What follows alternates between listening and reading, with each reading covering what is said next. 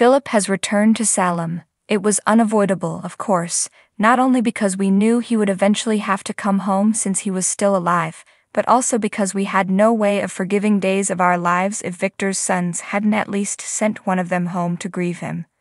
Victor's hair, or at least one of them, is returned for other reasons besides that, though.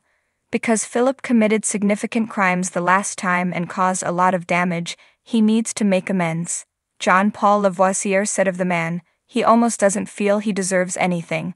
In a recent issue of Soap Opera Digest, he will accept any pardon that anyone is ready to offer. Given that he is aware of the horror of what he done, he will be eternally thankful.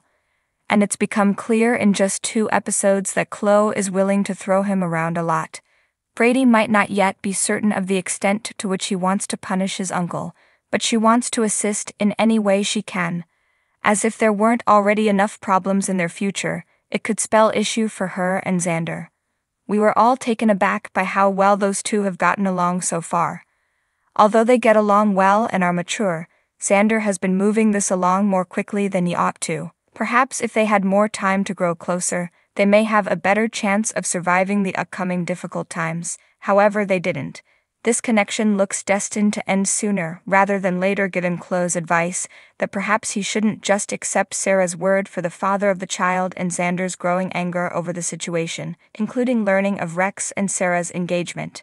And now, of course, Philip has returned, adding yet another relative to the list that Xander would gladly do without. Chloe and her fiance's relationship won't benefit from her standing up for him. Although we are aware that Philip won't be remaining around, Chloe might still be there when he departs once more.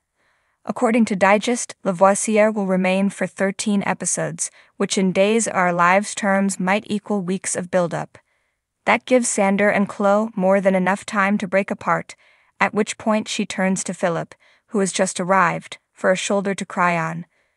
Because when Brady and Chloe are arguing about what to do with Philip, we don't really see Brady being all that willing to stand by her.